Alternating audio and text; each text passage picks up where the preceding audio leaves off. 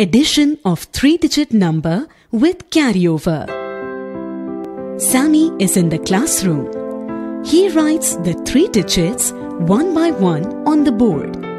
He now adds the ones, writes the carryover in the tens column.